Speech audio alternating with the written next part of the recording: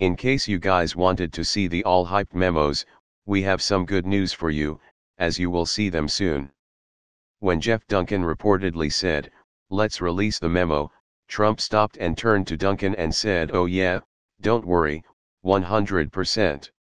Trey Gowdy said this week on Fox that the memo is embarrassing to Democrats. Gowdy said, My Democratic colleagues didn't want us to find this information. They did everything they could to keep us from finding this information.